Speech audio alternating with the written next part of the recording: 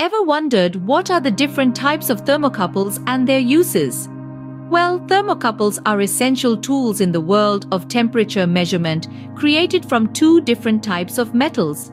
The hot junction between these metal wires forms the thermocouple. To optimize performance, scientists have standardized certain metal combinations, leading to eight primary thermocouple types B, E, J, N, K, R, T, and S.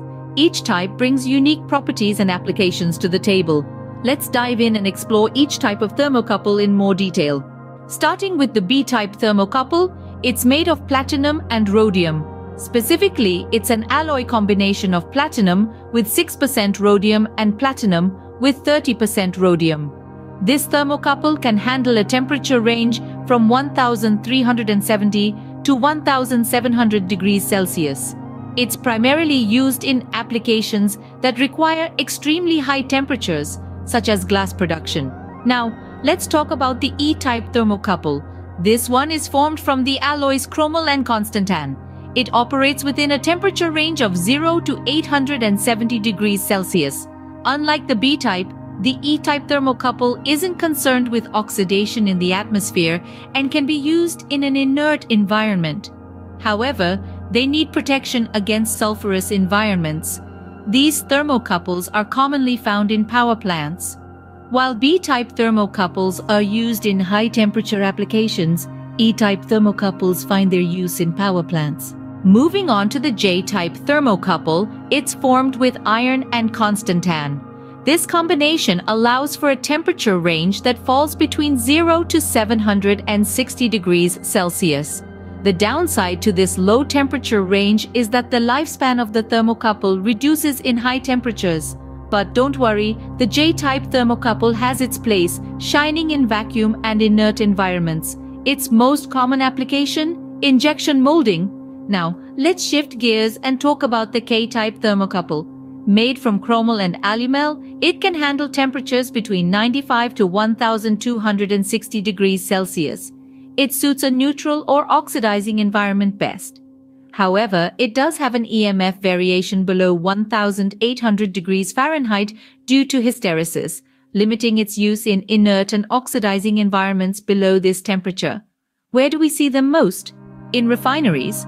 J-type thermocouples are suitable for vacuum and inert environments, while K-type thermocouples are common in refineries.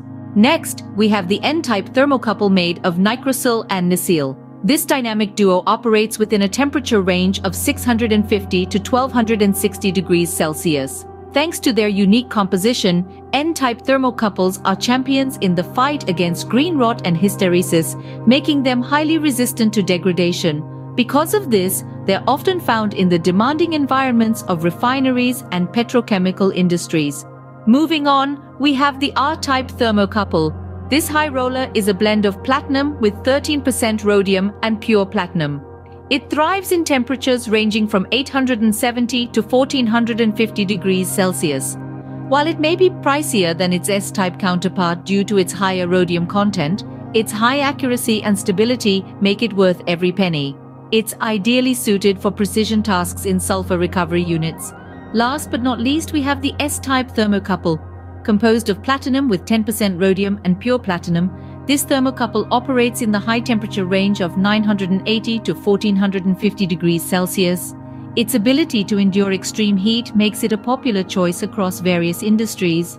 In summary, N-type thermocouples are resistant to degradation, R-type thermocouples are ideal for high accuracy and stability, and S-type thermocouples are used in high-temperature applications.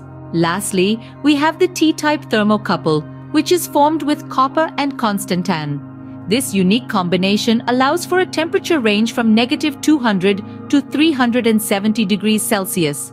This type of thermocouple is particularly versatile, suitable for both inert atmospheres and vacuums. Now, what sets the T-type thermocouple apart is its resilience. It generally resists decomposition even in a moist environment, making it a reliable choice in various settings. Its robust nature has led to its widespread use in industries such as food production and cryogenics, where precise temperature control is critical. In conclusion, each thermocouple type brings unique properties and advantages to the table. The key is to understand these differences and choose the right thermocouple for your specific needs. T-type thermocouples are widely used due to their resistance to decomposition in moist environments. That's all about the different types of thermocouples. Remember, the right thermocouple can make a huge difference in the accuracy of your temperature measurements.